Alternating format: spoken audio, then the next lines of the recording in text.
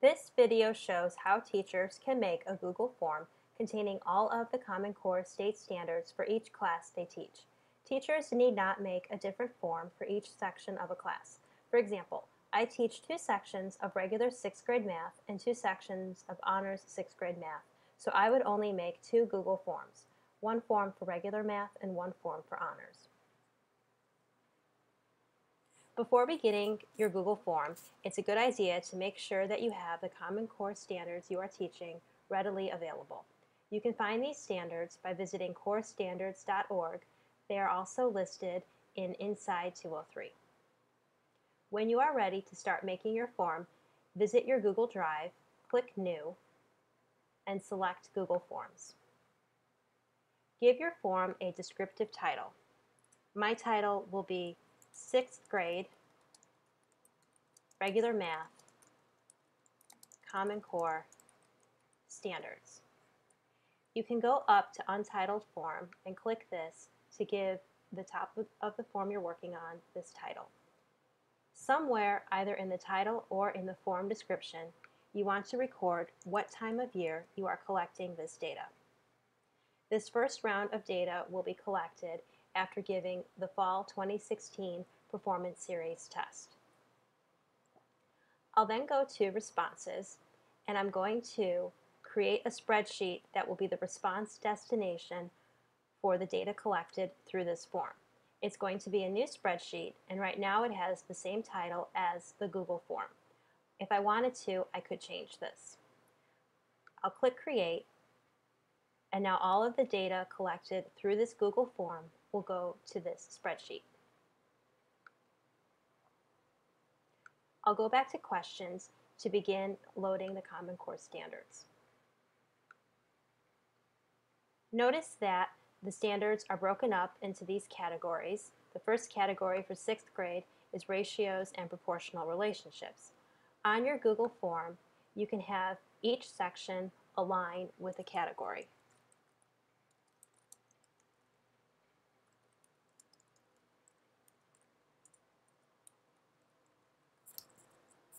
The question format is going to be checkbox. This is because when the students are looking at their student goals summary report and they're seeing the top three suggested learning objectives, which I will call priority standards, students might have multiple standards from one category. And you want to make sure you give them the checkbox option because if they have a multiple choice option, they could only select one standard from each category. The first two standards are 6.rp.a.1 and 6.rp.a.2.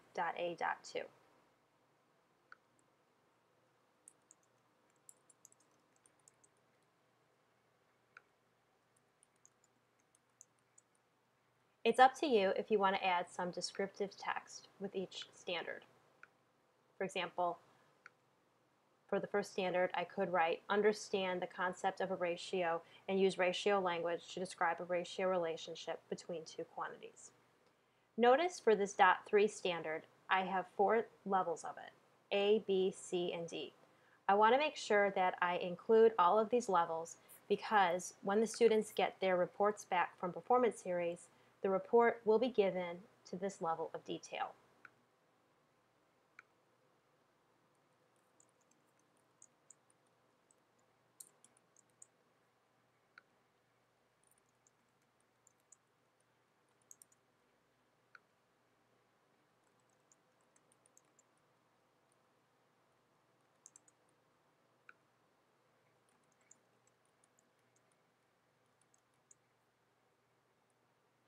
I'm done with the standards for ratios and proportional relationships, so my next section will be the number system. So to have a new item, I'll go to the plus sign and put this category's title. When you are done making your form, it will look something like this model.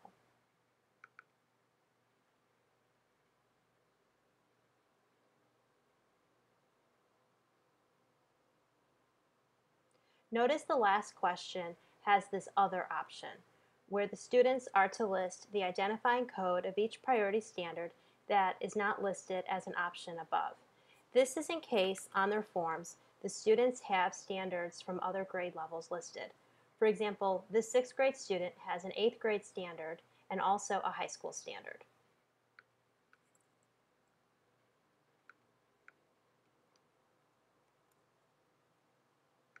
On my form, I will make this the last item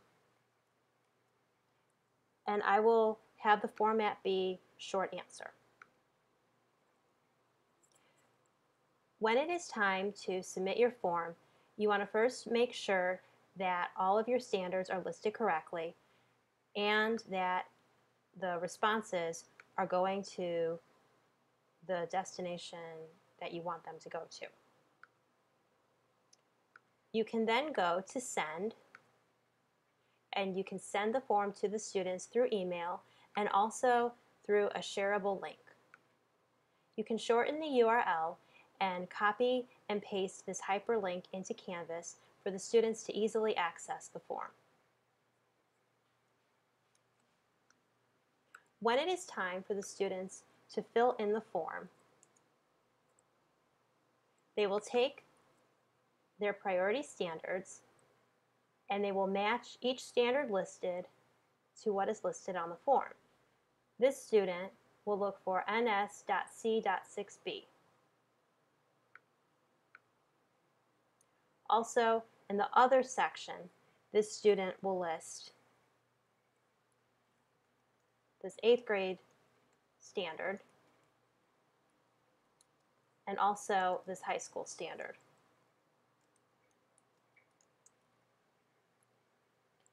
After collecting all of your responses, your spreadsheet will look something like this. Each row is one student's response. You can analyze the data right from the spreadsheet, and you can also use the applications in Google Chrome to better analyze the data. For example, you might want to insert a chart for each category. For example, the number system data chart looks like this. This chart tells me that one student selected this .6.c standard along with the .7.a standard. And if you go over here, two students selected this 6.c standard. Since out of a class of about 30 students, less than five students selected this .6.c standard, I'm not that concerned about this standard. I'd probably want to find these students and give them some individualized reteaching and review. However, if I go to the geometry chart, I'm noticing that this dot 4 standard comes up quite a bit, as does this dot A dot 3 standard.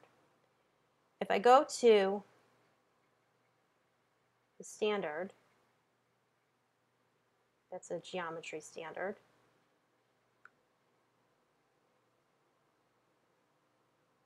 This is about drawing polygons and also using nets. So when I'm teaching the lessons aligning with these standards, I will make sure that I include a lot of formative assessment and also uh, differentiation. A benefit to me right now is that this data was collected in fall 2016 and the students have not yet had their geometry unit. So this is an upcoming unit and I will have plenty of time to figure out with my colleagues how to incorporate more formative assessment and differentiation. To further use this data to differentiate, you can go to Other,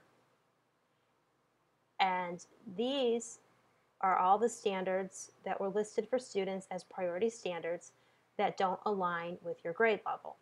However, since I teach sixth grade, I am concerned that I have some students who need to work on fifth grade standards, And also some students would benefit from some enrichment since seventh grade standards are listed. By using Google Forms in conjunction with Performance Series Student Goals Summary Reports, teachers can identify which lessons and units need to be monitored more closely to ensure student achievement.